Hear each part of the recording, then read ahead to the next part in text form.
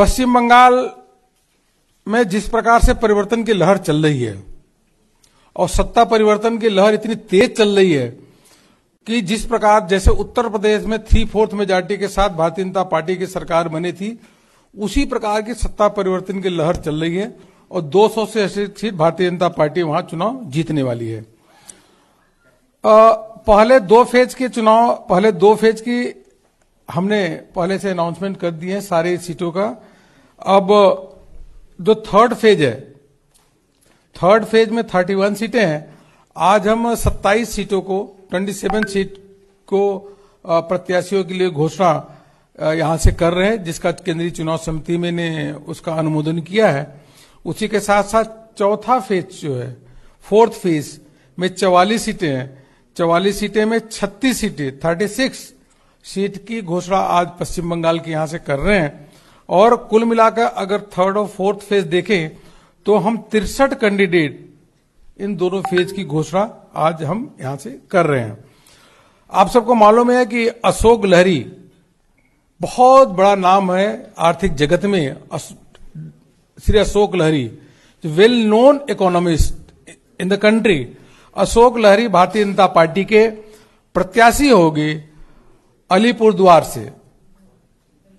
Yes वहाँ से चुनाव भारतीय जनता पार्टी के अलीपुर द्वार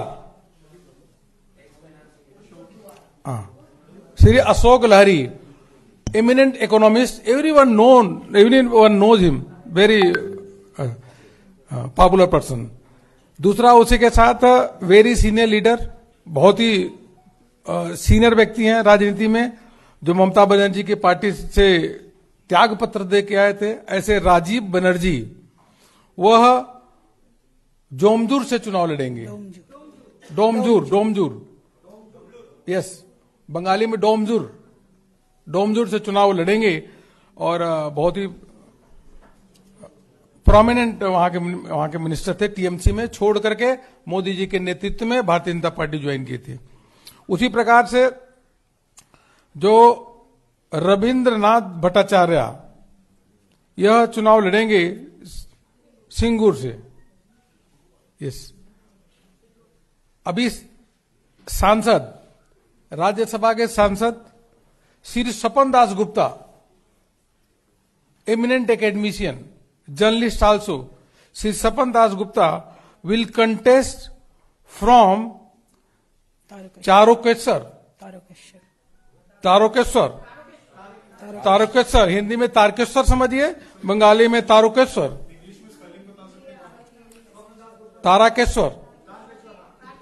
T A R A K E S S W A R Tarakeswar. Alipurduar Alipurduar Alipur द्वार ठीक है? नाव अभी आगे सुनो भैया। तब तो। जो अभी के सांसद नीतीश प्रणामिक हाँ निशित प्रणामिक प्रामाणिक।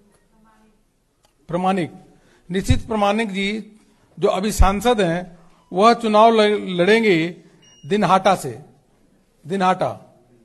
सांसद हैं दिनहाटा से चुनाव लड़ेंगे। और बहुत ही फ़ेमस जिसे गायक कहते हैं उसी के साथ साथ अभी केंद्रीय मंत्री श्री बाबुल सुप्रियो बाबुल सुप्रियो जी चुनाव लड़ेंगे चंडी ताला से। चंडी ताला चंडी ताला बाबुल सुप्रियो जी चंडी ताला से लड़ेंगे। हम्म?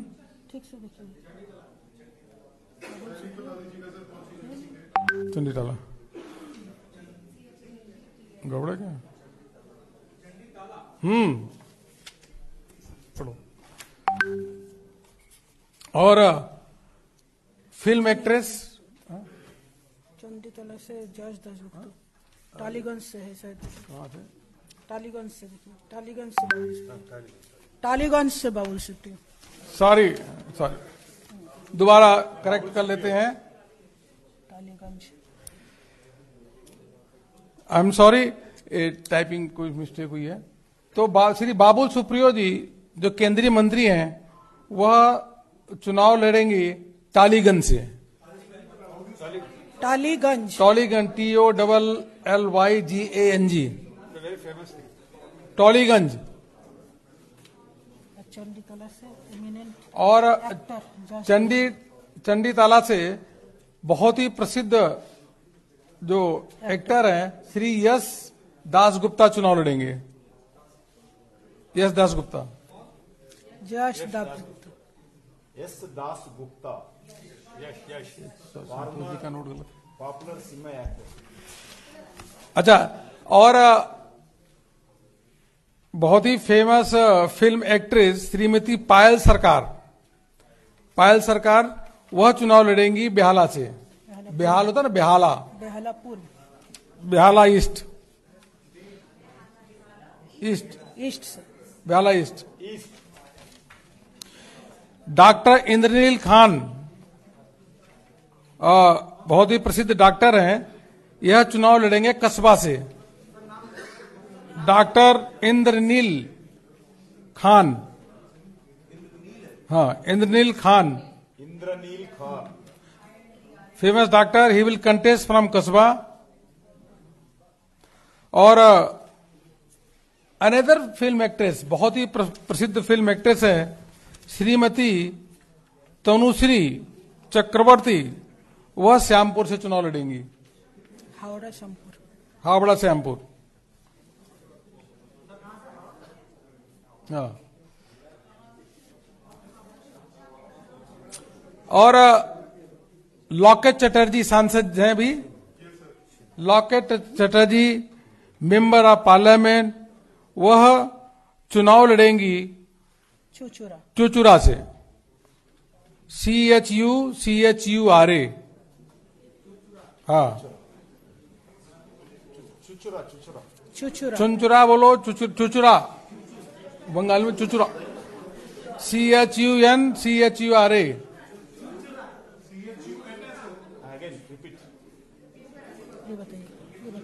another Rantidev इसका पहले बोलो एमिनेंट पत्रकार इसका? रंतिदेव सेनगुप्ता हावड़ा दक्षिण इसका पहले बोलो और another Shrimati Anjan Basu. Anjana. Anjana. Anjana Basu will contest from Sonpur south Sonarpur Sonarpur south से लड़ेंगे चुनाव। अंजन बासु अंजना बासु। सोनारपुर सोनारपुर साउथ क्या लगता है रंतिदेव सोनारपुर साउथ। और हावड़ा दक्षिण से भारतीय जनता पार्टी ने प्रत्याशी बनाया है रंतिदेव सेन गुप्ता। पत्रकार। ये बहुत ही प्रसिद्ध पत्रकार हैं। रंतिदेव सेन गुप्ता। बहुत हाँ। तो इस प्रकार से मित्रों हमने आपको आज तमिलनाडु, केरल और असम, पश्चिम बंगाल के नामों की घोषणा की है, जो केंद्रीय चुनाव समिति ने उनके नाम का अनुमोदन किया है। माननीय प्रधानमंत्री जी के नेतृत्व में गाँव गरीब किसान सब लोग खुशहाल हैं, प्रसन्न हैं।